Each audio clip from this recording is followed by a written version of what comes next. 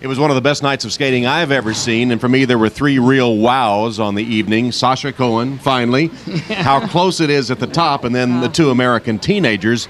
And uh, what a pleasure it was to finally see the real Sasha Cohen. Oh, wasn't she just outstanding? And, and she skated so completely freely.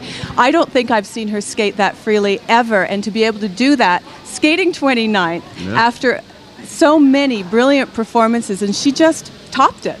But she was unable to put any distance between second and third because Slutskaya and Arakawa skated so well, too. everybody answered to this Olympic pressure. When you look at Irina Slutskaya, she came in as kind of the favorite.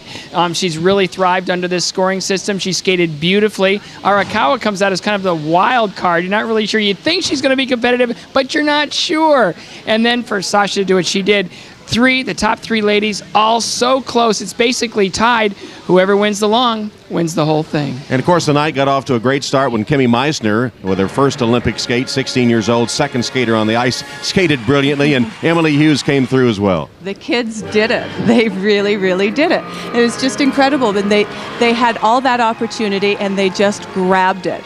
As How Best about they Geta could. Vishneely, huh? Huh? Your I girl. love this girl. She's your girl. But you watch this enthusiasm, you watch this excitement, you watch this just they're like puppies out there and they're just they're so happy to be out there. They're so happy to be skating and then to compete with the best in the world as they did, it just filled my heart. It was a wonderful evening. Yeah, she's the wild card from Georgia who will be in the final group. There are three Americans in the top seven, and Kimmy Meissner will be in the final group with Sasha Cohen. Now, uh, it is so close, never been this close. What should we expect in the free skate? Nerves. going to be so, so, so competitive.